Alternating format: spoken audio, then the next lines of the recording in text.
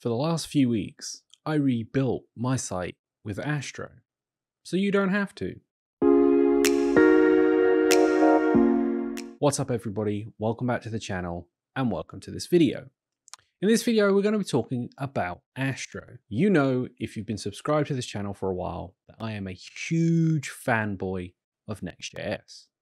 I absolutely love what they're doing with the web.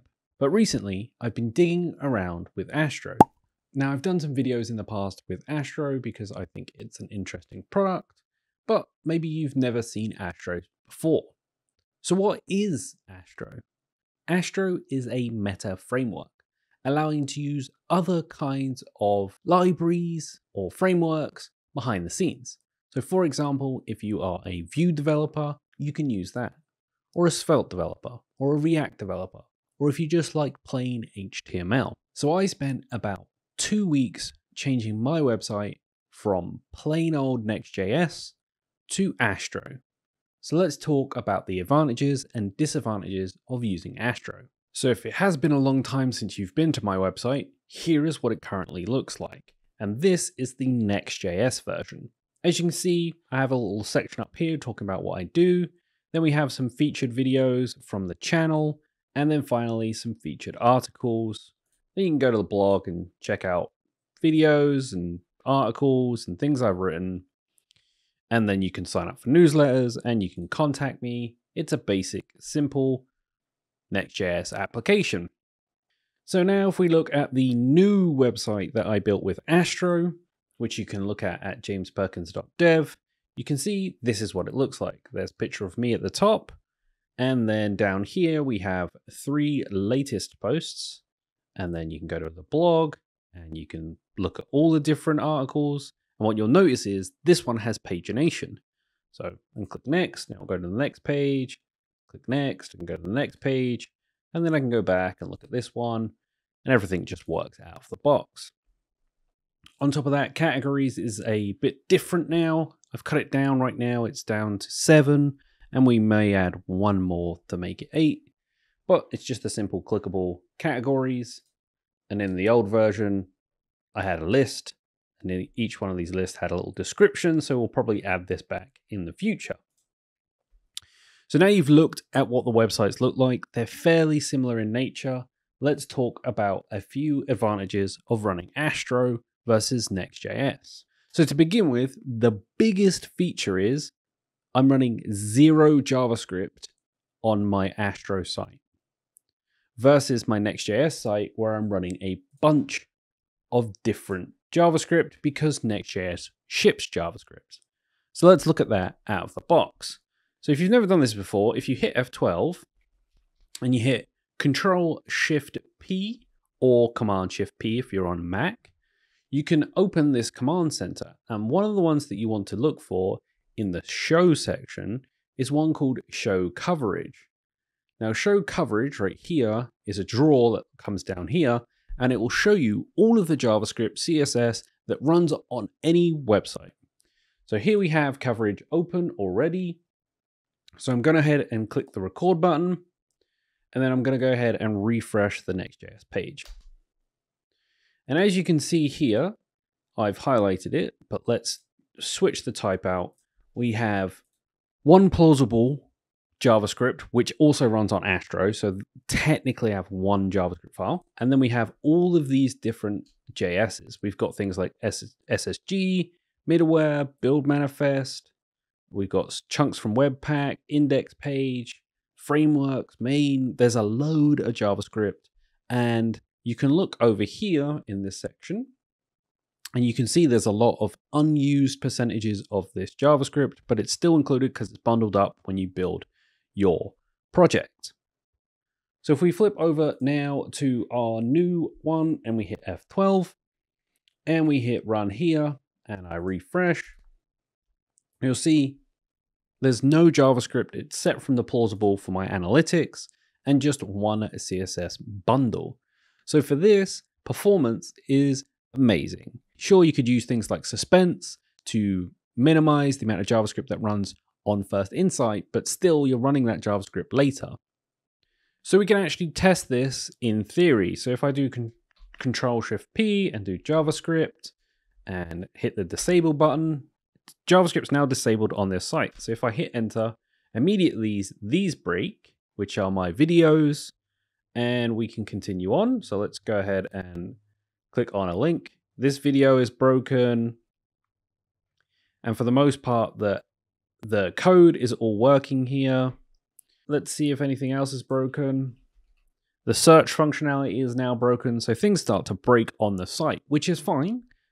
I expect that most people are running JavaScript, so it's not really a big deal, but it is something to be aware of. But if we do the same on my new site, we Control Shift P and we type the word JavaScript in, and right now it's still disabled. So if I enable it or disable it, just to make sure, we refresh.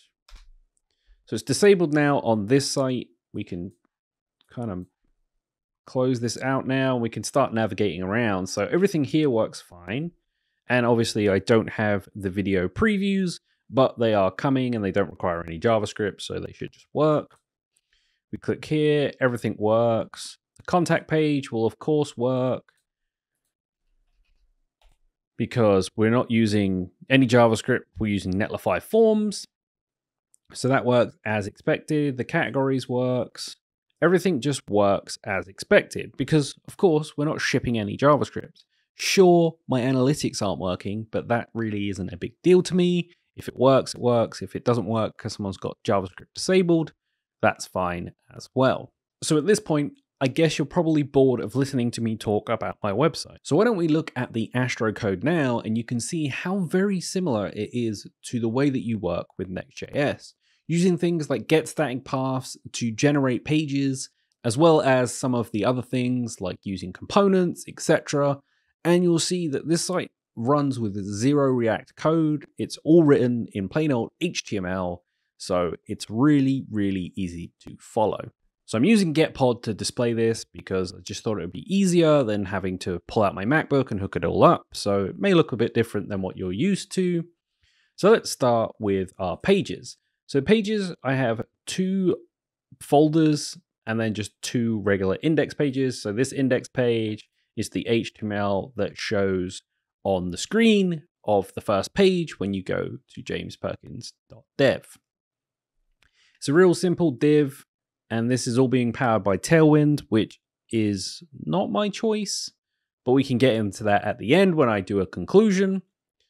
So here we just have a basic HTML page, nothing really exciting here. What you may notice is that they have these three dashes here, and then things are happening inside. And that's how Astro works. So inside of here is where all your JavaScript can be computed and used, and whatever else you might need, data fetching, etc., etc. And then you use these anywhere you like. So this top three here is using that to power this section here, and I'm just using top three as a property, and that is just showing the last three latest posts.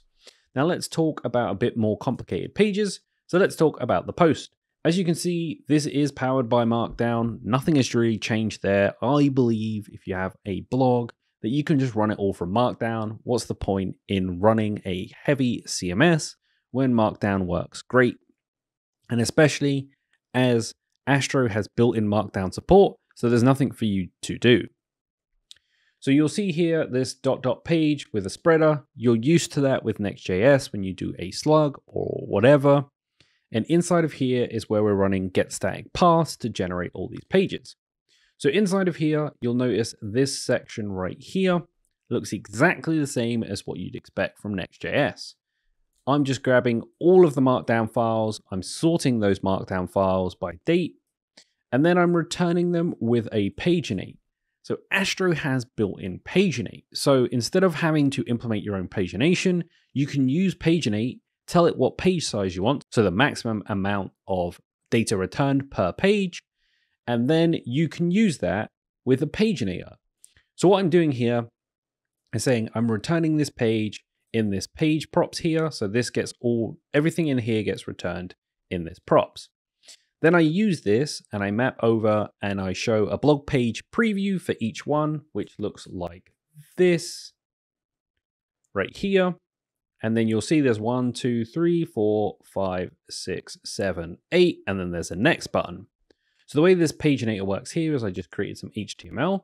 So if we go to this component here, in our component section, you'll see I'm pulling in that property, the page, and all I'm doing is saying page.url.previous or page.url.next.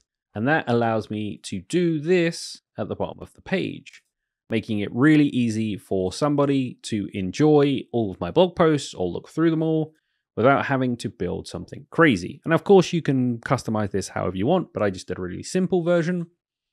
So that's how that works. So back in here, essentially we're using this get static paths to do all of that. And then we pass it along to this preview. Now what this blog post preview does is just opens this post as a URL. And all I'm doing for that is using this blog post.astro file to display it. So here are all the properties I could be using. Right now we're not using them all, but there's some changes that need to happen in my code so that I can use an author and this category section I want to add and the description we may use somewhere else. But all I'm doing here is showing a header, the title, and then I'm using this slot section here. Now what this slot section does is essentially shows you this part of the code. And that would be the markdown that's been converted into HTML. So if we go to a blog post that's a bit more complicated, it's going to have links and it's going to have images and it's going to have all that kind of stuff. So unlike Next.js or any other kind of project that you may have done, you don't have to implement the markdown parsing. It just happens inside this slot, which made it really easy to build upon. And I had most of the code finished within the first two days. And then I just spent a lot of time playing with styling.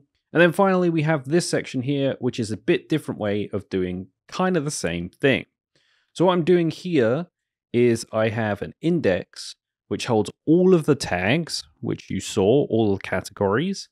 And every time you click on one of them, it gets passed in as a property here, which then shows the page. And basically this layout is the same as this page layout here. All I'm doing is filtering and returning only the filtered posts, making it seem to the user that they have a bunch of different categories and they'll show different posts based upon that. It's just a really easy way to implement that. So now I've talked about how I implemented my Astro site, let's talk a few negatives.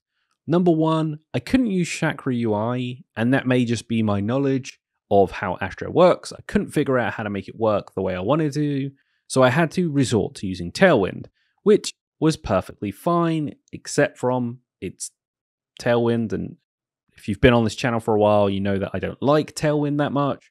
So it was just a bit of getting used to. On top of that, right now, I don't have my ads running because I run carbon ads or I did run carbon ads on the old site, which gave me a small amount of revenue. And that's because I haven't quite figured out how that would work. On top of that, I had a problem with SEO for a while, which in the end led me to just build my own SEO package.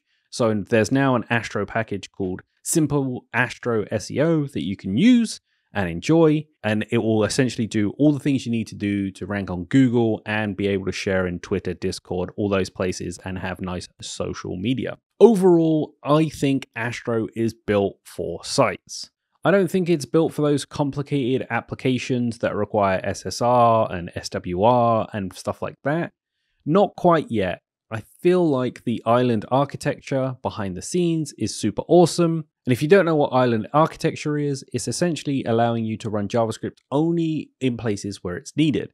So if you have a big component and it doesn't actually need any JavaScript, no JavaScript will be added to the bundle. But if there's one or two components that you need some JavaScript to make them dynamic, it will only use them when that component is used and you can specify how it's used is it when the client is idle? Is it when the client loads? Is it when there is some sort of media query? All those kinds of things can be handled with Astro. Overall, I really enjoyed this experience and my site's now going to be powered by Astro. If you did enjoy this video, make sure to drop it a like. Of course, tell me down in the comments below, is there things you want to learn about Astro? And I will make some videos. And of course, until next time, see ya.